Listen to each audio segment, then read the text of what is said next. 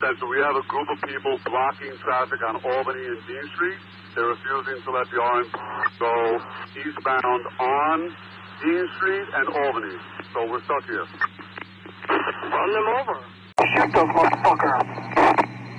Don't put that over yet.